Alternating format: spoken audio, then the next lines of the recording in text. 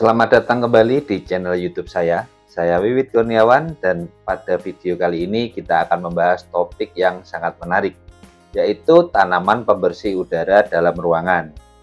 Sebelum kita mulai, jangan lupa untuk tekan tombol subscribe dan lonceng notifikasi agar tidak ketinggalan konten menarik lainnya seputar tanaman hias dan mari kita mulai. Apa itu tanaman pembersih udara?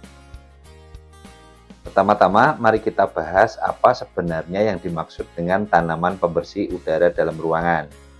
Tanaman pembersih udara adalah tanaman yang memiliki kemampuan alami untuk membersihkan udara dari polusi dan zat berbahaya. Ini berarti tanaman ini bukan hanya indah secara visual, tapi juga bermanfaat bagi kesehatan kita.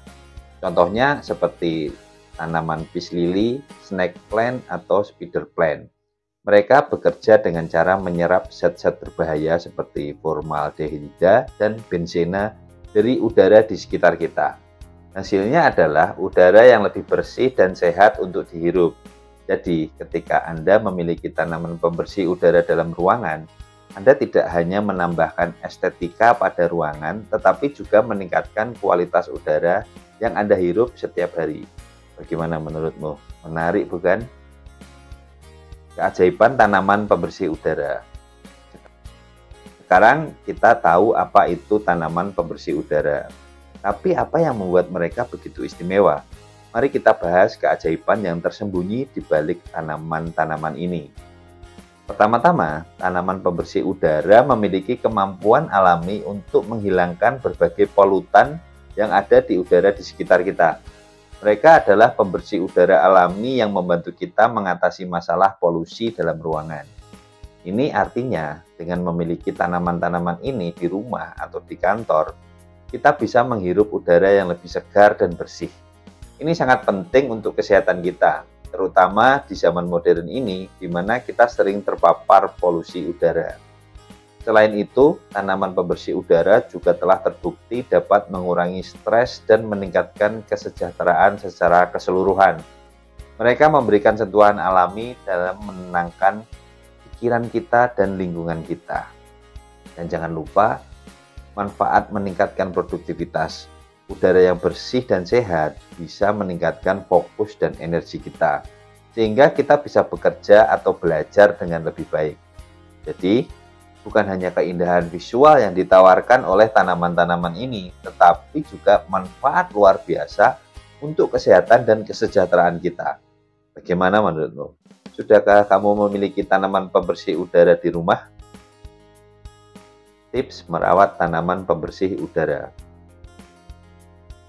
Supaya tanaman pembersih udara tetap sehat dan berfungsi dengan baik, ada beberapa tips perawatan yang perlu Anda ketahui saya akan memberikan panduan lengkapnya, termasuk cara menyiram, menempatkan tanaman, dan perawatan khusus untuk masing-masing jenis tanaman pembersih udara. Tips pertama adalah tentang penyiraman. Setiap tanaman pembersih udara memiliki kebutuhan air yang berbeda. Penting untuk memahami berapa banyak air yang mereka butuhkan. Jangan terlalu berlebihan dalam penyiraman karena ini bisa merusak akar mereka. Selanjutnya, pastikan untuk memeriksa kelembapan tanah secara teratur. Sentuh tanah di sekitar tanaman dan jika terasa kering baru lakukan penyiraman. Tapi jika masih lembab, tunggu, belum menyiram lagi. Pastikan sudah kering. Tanaman pembersih udara juga membutuhkan cahaya yang cukup. Pastikan mereka mendapatkan sinar matahari yang tepat. Beberapa tanaman lebih cocok di tempat yang teduh, sementara yang lain lebih suka sinar matahari secara langsung.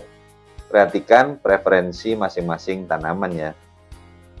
Selain itu, berikan perawatan ekstra seperti pemangkasan daun yang mati dan pemindahan ke pot yang lebih besar jika tanaman tumbuh semakin besar. Ini akan membantu tanaman tetap sehat dan tumbuh dengan baik. Jangan lupakan juga pupuk Pupuk organik dapat memberikan nutrisi tambahan yang diperlukan oleh tanaman pembersih udara. Namun, jangan terlalu banyak memberikan pupuk karena bisa merusak akar tanaman. Jadi, itulah beberapa tips sederhana untuk merawat tanaman pembersih udara dengan baik. Dengan perawatan yang tepat, mereka akan terus membersihkan udara di sekitar kita dan memberikan manfaat yang luar biasa bagi kesehatan kita. Jangan ragu untuk bertanya jika kamu memiliki pertanyaan lebih lanjut. Terima kasih telah menonton video kami hari ini tentang tanaman pembersih udara dalam ruangan. Jangan lupa untuk like video ini jika Anda menemukan informasi ini bermanfaat. Dan tentu saja jika Anda memiliki saran atau pertanyaan, tinggalkan komentar di bawah ya. Sampai jumpa di video berikutnya. Selamat menanam dan menjaga kesehatan udara di rumah Anda. Dan ingat untuk tetap update dengan konten-konten menarik seputar tanaman hias. Pastikan untuk subscribe dan nyalakan lonceng notifikasi. Sampai jumpa.